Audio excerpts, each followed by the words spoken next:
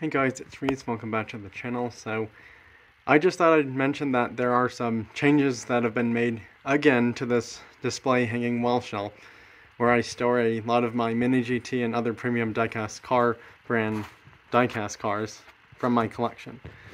This isn't all of them, um, only because, well, I have more premium diecast cars than I thought, and if I were to have all of them on like a hanging wall shelf display like this one, I'd probably have to get at least maybe one more, because I already got one for Christmas last year.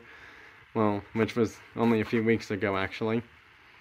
But yeah, I just thought I'd show you the cars I have on it right now, and also, if anyone can guess what the changes are, or the updates for this um, hanging shelf wall, just, you know, throw your best guess out there, and if you're right, I'll let you know.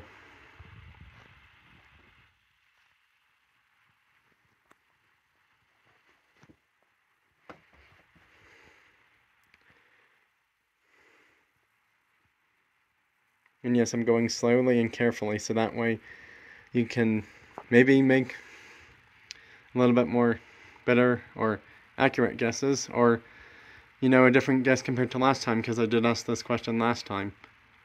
So yeah. Well, anyways, uh, that's it for this video. Bye everyone. Thanks for watching. Have a great rest of your week and weekend.